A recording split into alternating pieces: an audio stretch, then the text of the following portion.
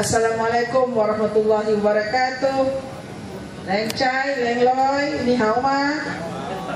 Hao ah. Ayah bandekem. Ah. Malay bandekem. Kalau malam Malay bandekem. Kalau siang Hai bandekem. Ha, ini perbezaannya. Pemimpin Pakatan Rakyat kita boleh mengucapkan selamat dalam berbagai bahasa. UMNO BN baru nak belajar.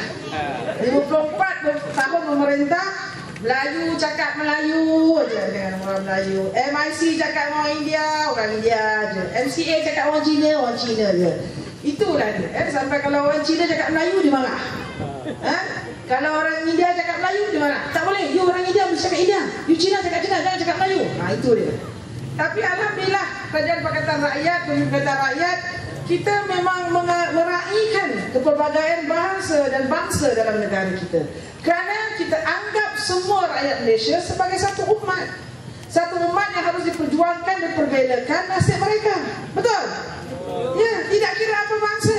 Melayu, Cina, India, kalau susah kita tolong. Kalau dizalimi kita bela.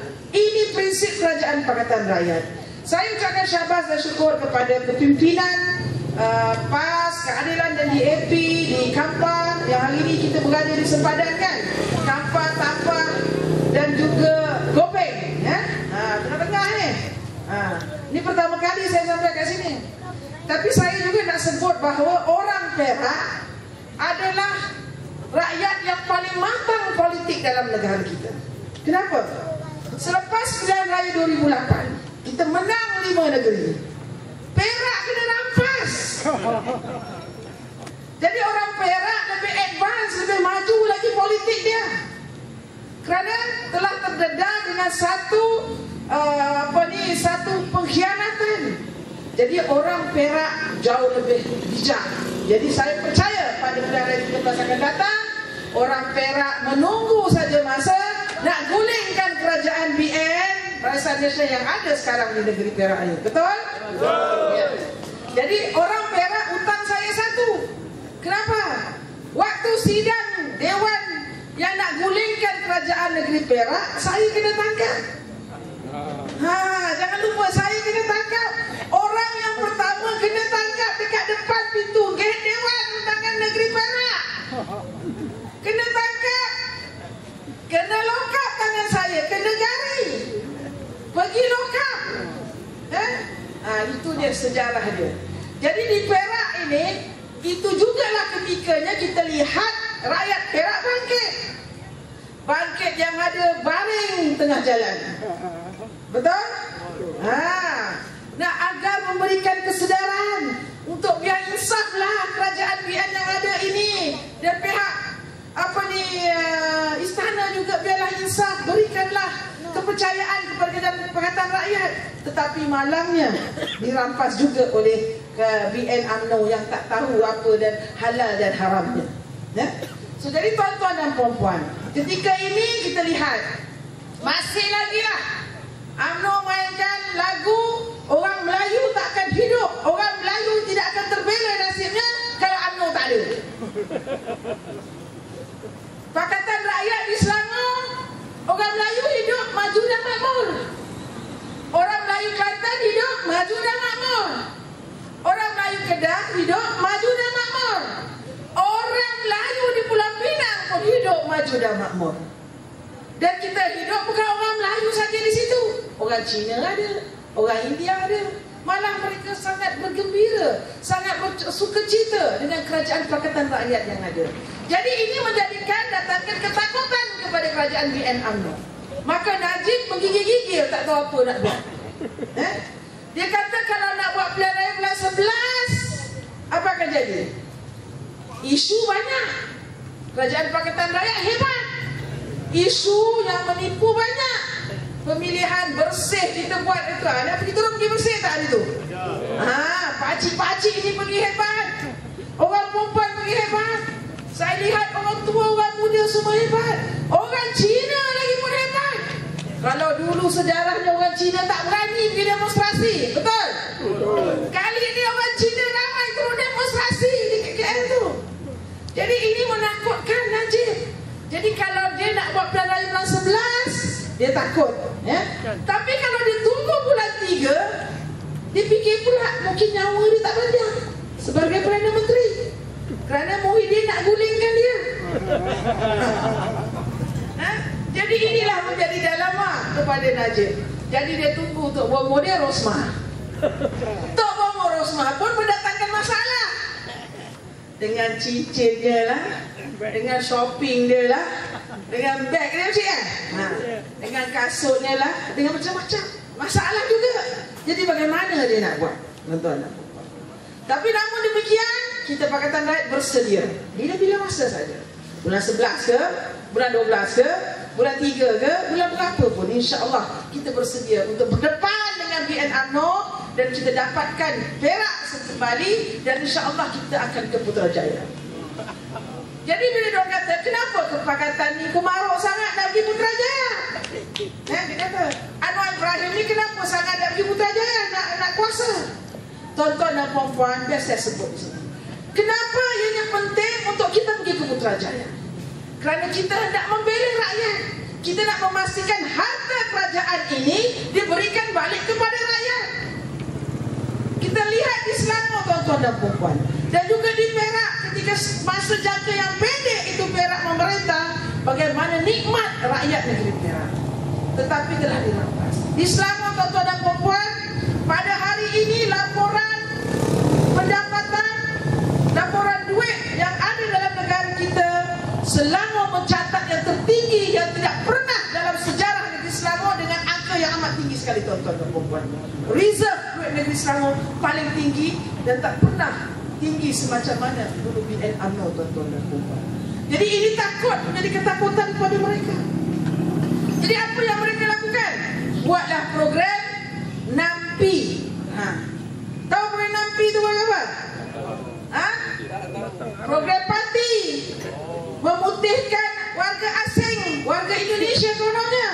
Dua juta warga Indonesia kononnya tidak diberikan pemutihan. Kononnya untuk menapis mereka berdatar dan sebagainya. Tapi di sebalik itu apa tuan-tuan Di sebalik itu mereka menggunakan program NAMPI ini untuk untuk memberikan IC biru, untuk memberikan kerakyatan kepada mereka ini dan masukkan nama mereka sebagai pengundi dan mereka disuruh angkat sumpah untuk memberi undi kepada BN UMNO tuan-tuan dan puan Ini kerajaan BN yang sangat desperate. Sangat desperate dan terdesak. Saya rasa tuan-tuan dan puan-puan sedar saya telah mendedahkan beberapa isu mengenai pemberian warga negara kepada warga asing dalam negara kita. Kita tak marah tuan-tuan dan puan-puan. Kalau mereka nak menjadi rakyat Malaysia, duduk sini elok-elok, ikut proses, betul, dan boleh menjadi rakyat. Tapi apa yang kita khawatirkan sekarang tuan-tuan dan puan-puan, BN UMNO kerana nak mengekalkan kuasa mereka, sanggup mengkhianati rakyat, sanggup menjual negara kerana hendak mengekalkan kuasa mereka. Dan diberikan IC dan kerakyatan kepada negara uh, warga asing ini agar mengundi mereka agar mereka menang dalam pilihan yang akan datang. Sekiranya ini terjadi tuan-tuan dan puan-puan, apa akan jadi dengan negara ini? Apa akan jadi saudara? Bila ada lapakan orang warga asing datang tuan-tuan dan puan dengan tanpa ditapis, dengan tanpa dengan prosedur yang betul, maka hasil kerajaan nanti akan pergi pada siapa? Bukan kepada anak kita, bukan pada cucu kita. Akan pergi kepada mereka-mereka ini tuan-tuan dan Peluang pekerjaan, peluang nak hidup anak-anak kita akan juga habis ha, ke tangan mereka. Dan duit hasil negara kita yang mereka dapat gaji akan dibawa ke mana tuan-tuan dan puan Akan dibawa ke mana? Dihantar kepada negara. Jadi ini akan buat apa? Negara akan bertambah miskin. Negara akan mundur. Patutnya kita makin tahun makin maju. Ini saya mau sebut lagi masalah sosial. Bila ada masalah sosial, ekonomi kita jatuh, imej negara jatuh, maka Malaysia tak laku lagi tuan-tuan Kita patut maju, lebih progresif makin tahun gaji makin tinggi, hidup makin senang, kualiti hospital makin tinggi, kualiti sekolah makin tinggi, kualiti jalan makin tinggi, kualiti perumahan makin tinggi, kualiti persekolahan dan semua macam makin lama makin tinggi.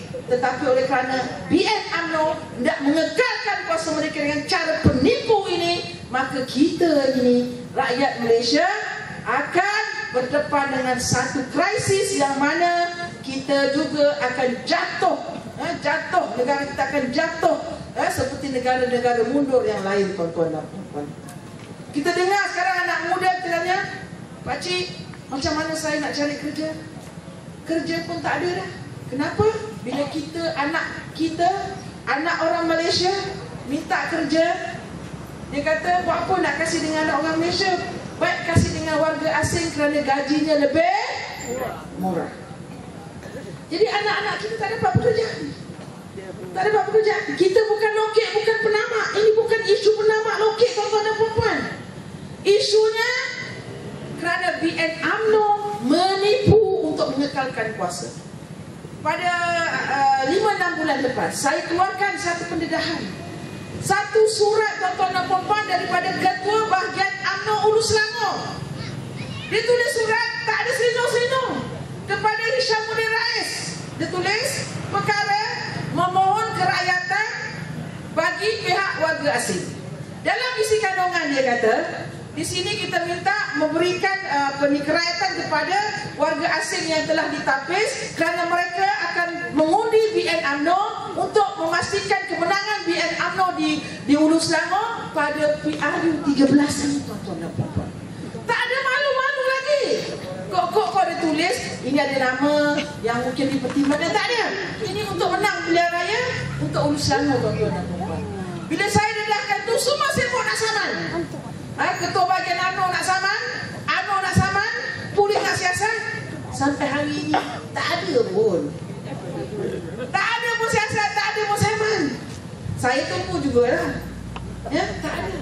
Yang keduanya baru-baru ini saya dedahkan juga. Bagaimana proses nampi ini digunakan.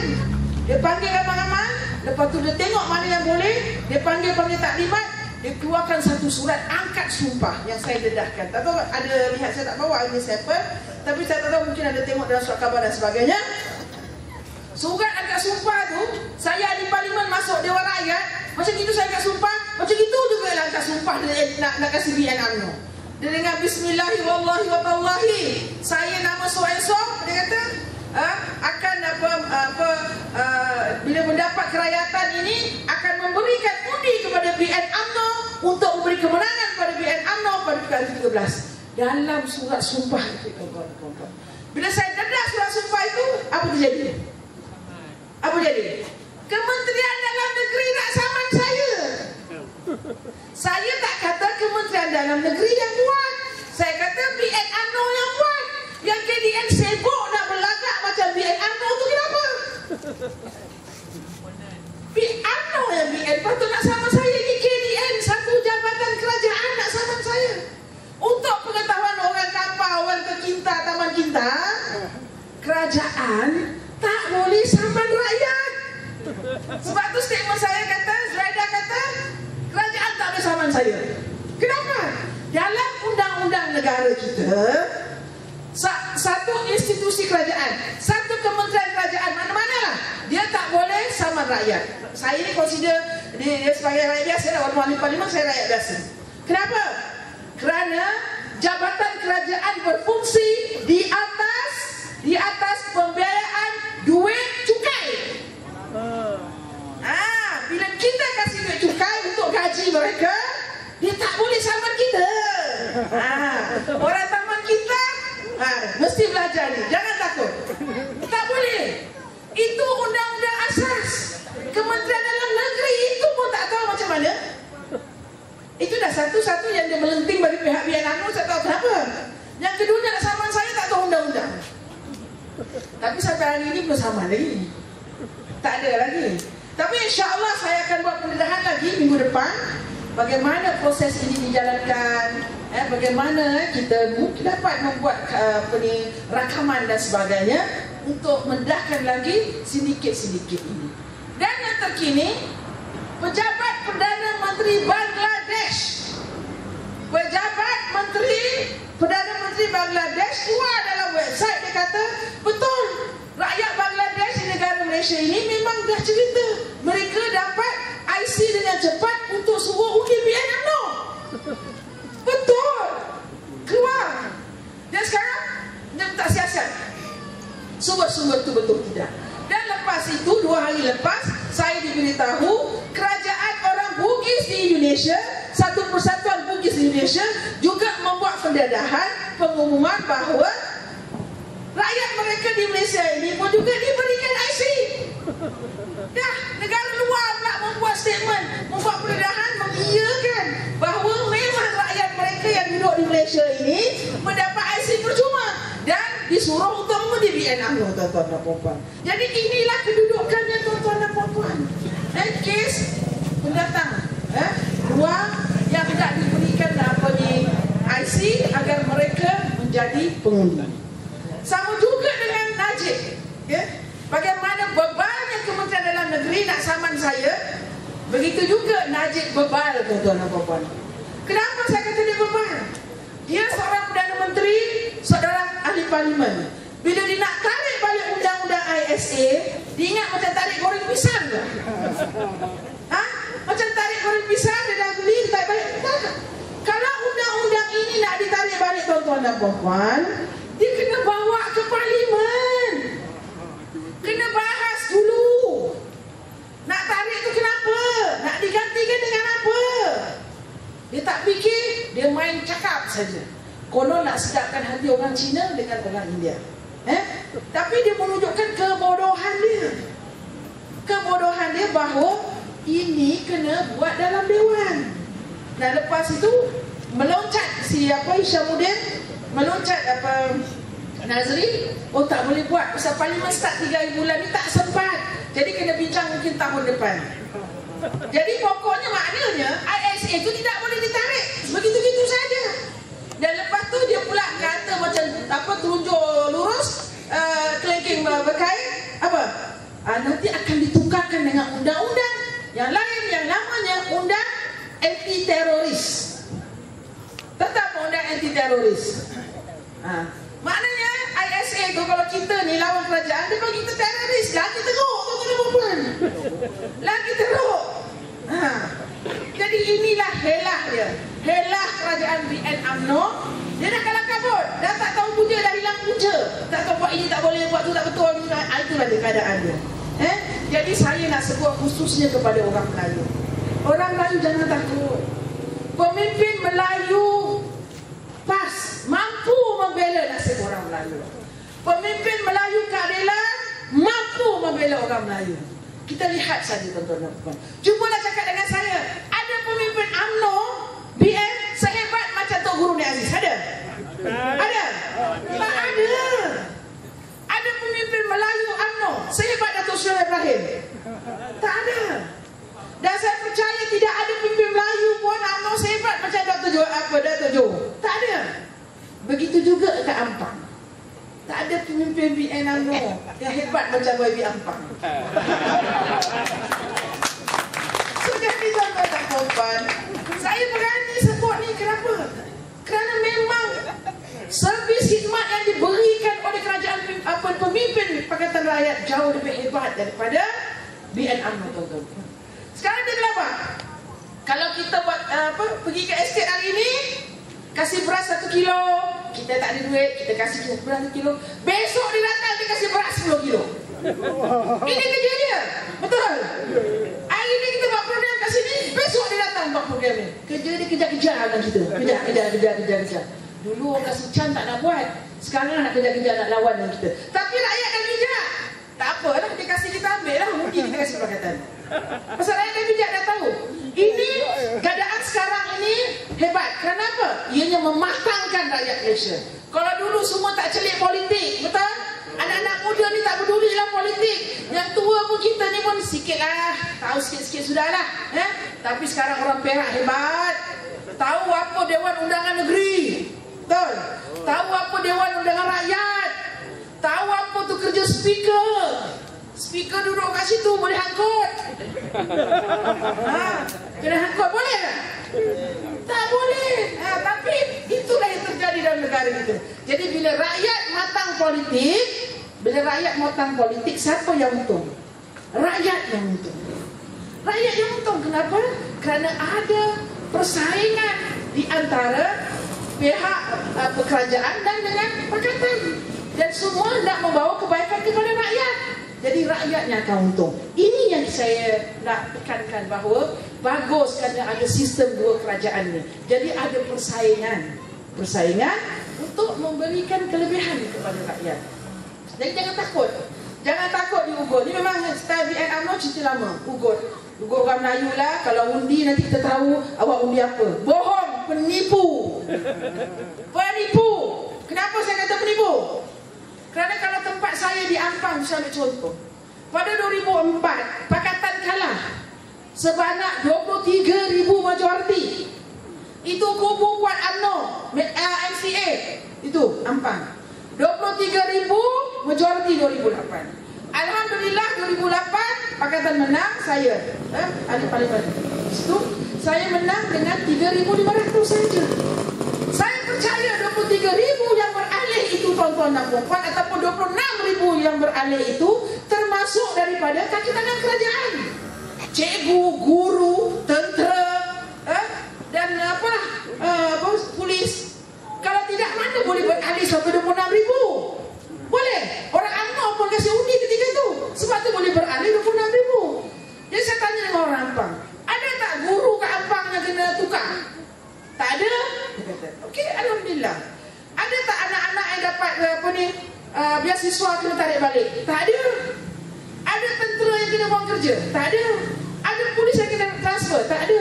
Ha, jadi itu maknanya dia bohong. Dia tak tahu tuan-tuan dan puan dia apa. Dia tak tahu. Cuma dia menakut-nakutkan sahaja. Ha, jadi kita kasih tahu pada kawan-kawan kita, jangan takut. Undi pakatan, undi itu tetap rahsia. Tapi kalau ada hantu-hantu UMNO, ketua cawangan, ketua bahagian datang, saya tahu apa awak undi. Ha? Awak tengoklah kalau awak undi rumah awak nanti, tak kasih tanah. Dia Tuan-tuan panggil dia, bawa dia, pergi balai polis, buat laporan polis. Kerana undi itu rahsia. Dalam akta kerajaan kita, dia kata undi itu rahsia. Maksudnya kalau orang berani dia kata dia tahu apa kita undi, kita boleh bawa di balai polis, kita kita buat laporan, polis tangkap dia. Pasal undi itu rahsia. Mana dia buat itu? Eh? So kita kena tahu undang-undang dan kita kena berani. Jadi sebelum saya tutup laluan kepada Datuk Jo, saya nak sebut sikit tentang Negeri Selangor. Perak memang macam lah Memang dulu waktu perintah di Perak macam-macam beri Di Selangor juga macam itu. Saya cuma nak cakap satu isu mengenai tanah di negara. Kenapa? Tadi saya pergi ke kampung uh, Cangkat Tualang Saya berbual dengan satu veteran wanita UMNO. Uh, Dah masuk pada pakatan Dan dia cerita tentang tanah dekat apa Cangkat Tualang tu 90 tahun dah kat situ kata dia 90 tahun kampung tu Lepas tu ada satu tanah yang sebanyak 40 ekar. Orang kampung mohon untuk buat pertanian bertahun-tahun tak dapat. 2010 Zamri ambil alih kerajaan terus berikan tanah ini kepada pemaju nama apa Nektar ke apa tadi? Eh? Untuk buat projek dekat situ.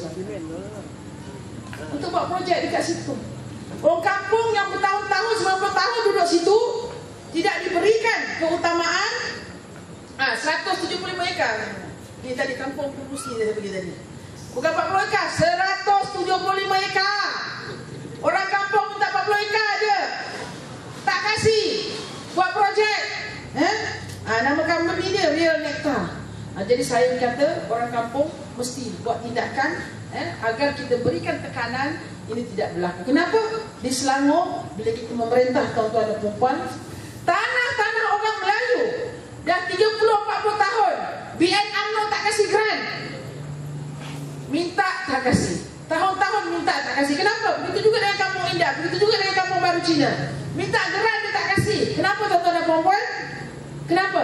Kerana kalau otak dia kalau tak penipu Dia tak kasih dia tak kasih grant kenapa? Dia tengok satu hari nanti Tanah itu akan menjadi tanah itu akan menjadi tanah yang premium.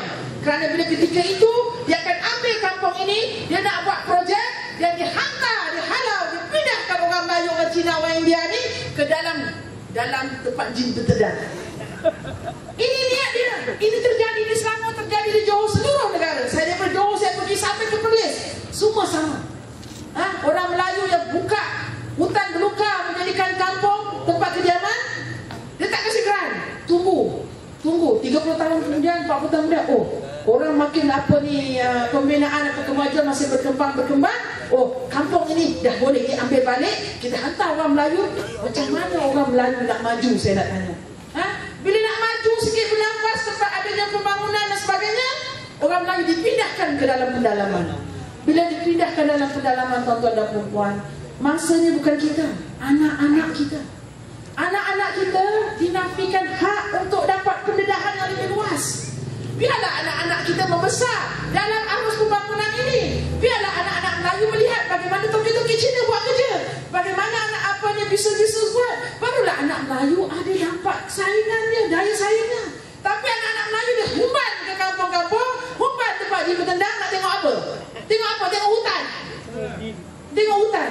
Ini yang tanpa kita sedari anak-anak kita dinafikan hak untuk mendapat ilmu yang bukan di sekolah ilmu bukan saja di sekolah, tempat kita di sekolah tempat bukan ilmu um, ada di sekolah saja tetapi ilmu ilmu keduniaan ilmu persekitaran dengan dia melihat dan observe menghayati anak-anak kita juga akan dapat ilmu tuan-tuan dan puan tapi ini dinafikan oleh kerajaan Vietnam kalau inilah UMNO kata diperjuangkan orang Melayu tuan-tuan dan puan ini satu penipuan yang besar.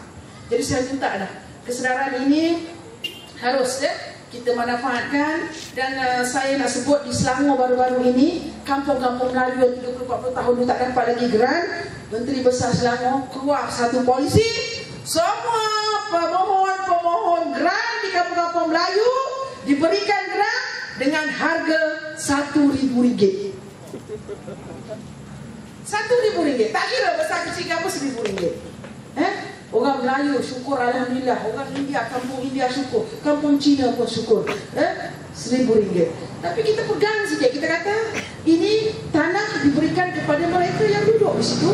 Memang memang orang asal yang buat apa ni uh, pe, uh, Pembukaan kampung itu Tetapi kalau satu ketika dia nak jual Harga itu pulang balik kepada harga premium yang asal. Jadi kita nak elakkan mereka Dan jual harta tanah orang Melayu perempuan-perempuan ini polisi yang kita buat. Jadi insya Allah kalau kita di Selangor, di Perak, di Selangor, di, di, di Kedah, di Pulau Pinang dan juga di Kelantan mampu melakukan ini kepada rakyat keempat negeri ini, kita juga hendak melakukan ini kepada seluruh negara agar seluruh rakyat Malaysia dapat manfaat dalam satu pentadbiran kerajaan yang sangat berjiwa rakyat tuan-tuan dan puan Dan bukanlah kita nak gerojo pergi Putrajaya bukan, kerana kita sayang dengan rakyat. Kalau kita setakat tolong orang Perak, setakat negeri Selangor tak cukup. Kita nak tolong seluruh negara tuan-tuan dan puan Jadi dengan itu saya minta yang hadir pada hari ini sama-sama lah berikan sokongan kepada calon PAS, DAP, keadilan ke yang dalam tempat tuan-tuan semua berikan sokongan. Kempen tuan-tuan dan puan jangan takut jangan cakap saya tolong belakang-belakang tak ada belakang-belakang lagi depan pergi depan bawa bendera DAP bawa bendera PAS bawa bendera keadilan jangan malu-malu lagi tak malu kita kerajaan yang berdaya kita kerajaan yang mampu mentadbir negara tuan-tuan dan puan parti yang mampu jadi kita jangan malu minta eh tak kira yang tua kempen dengan tua orang perempuan kempen dengan orang perempuan yang muda kempen dengan muda eh? jadi agar dia akan dapat membawa satu gelombang gelombang yang boleh kita tawan Putrajaya pada PRU yang ke-13 ini. Sekian tuan-tuan dan puan Wassalamualaikum warahmatullahi wabarakatuh.